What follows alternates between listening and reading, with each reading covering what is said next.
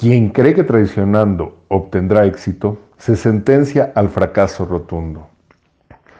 Y voy y muy buenos días mis muchachos, ya que activos en Ilea de Olofi, Ciudad de México, con nuestra respectiva ceremonia del despertar de Orula, pidiendo mucho Che y muchas bendiciones para todos y cada uno de ustedes en este día, lunes 13 de septiembre de 2021. Mes de septiembre, noveno mes del año, recordando que el número 9 en la numerología del oráculo del Dilogun corresponde al signo de Osa, que viene del signo de Ifá Osamei. Hablábamos de el signo de Osa, el número 9. Hablábamos dentro de las explicaciones de la numerología cómo eh, se veía el número 9 como un número malo, debido a que se veía que había un dominio por parte de las fuerzas oscuras al hablar de este signo. Por, por un lado, por otro lado, el número 3, 6 y 9 se consideran números sagrados. Tan es así que fueron de amplio estudio por el gran científico Nikolai Tesla. Siempre el número 3 ha sido polémico y tres veces 3 más polémico aún, por su fuerza y por lo que puede estar atrás de él, que lo hemos de descubrir en la vida a base de la experiencia. Nos habla el signo de Osa dentro de sus refranes, Amigo que mata amigo. Pues un amigo que mata a un amigo no tiene otro, otro connotativo que no pueda ser un traidor. Osa es un signo que nos habla de traiciones constantes.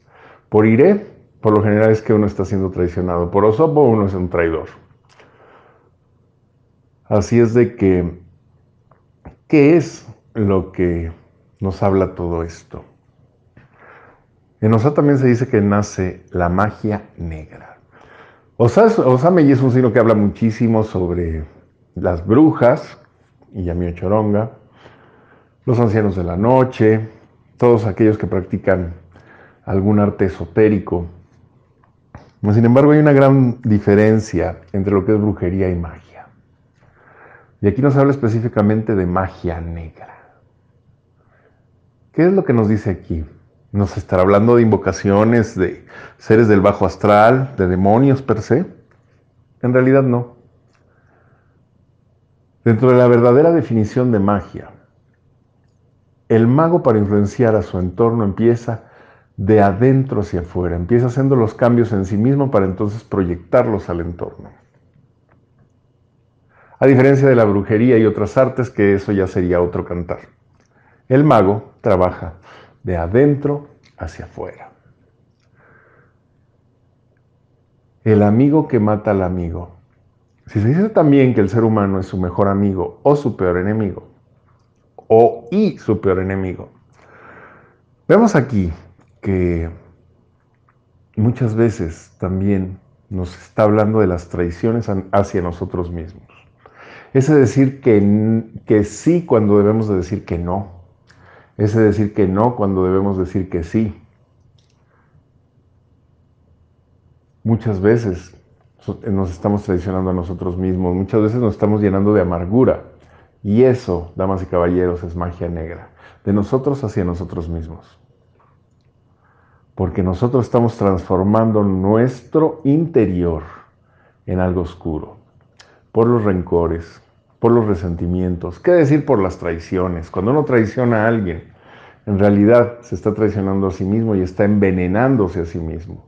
Por eso todo aquello que empieza mal termina mal, inequívocamente.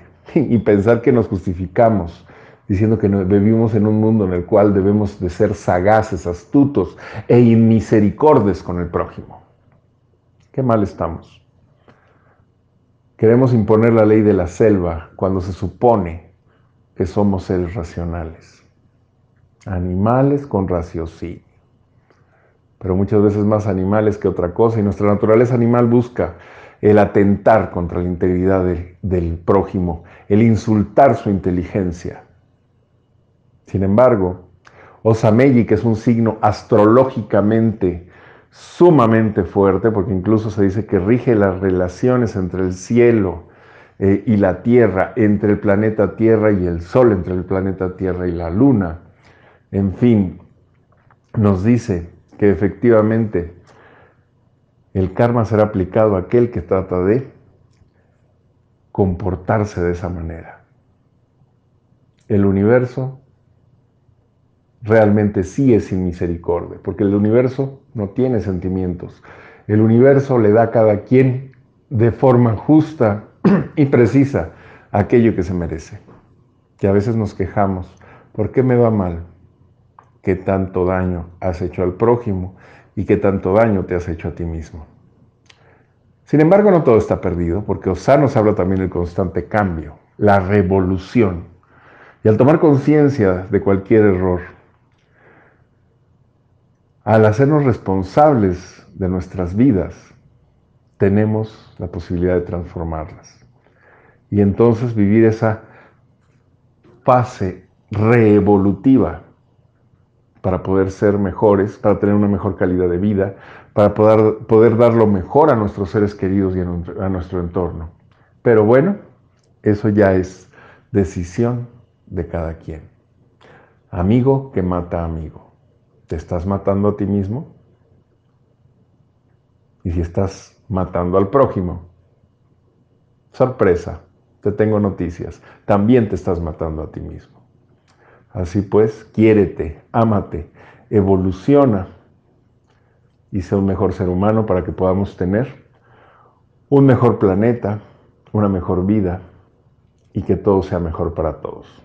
Y bien, hasta aquí con nuestra reflexión del día de hoy en este despertar de Orula, siendo el día lunes 13 de septiembre de 2021, deseándoles un excelente día, mucho H y muchas bendiciones recordándoles tomar todas aquellas precauciones que esta alerta sanitaria a nivel mundial nos exige y recordándoles también que hoy, como siempre, en Orientación Yoruba, aquí estamos para ustedes. Iboru, Iboya y Bochiche.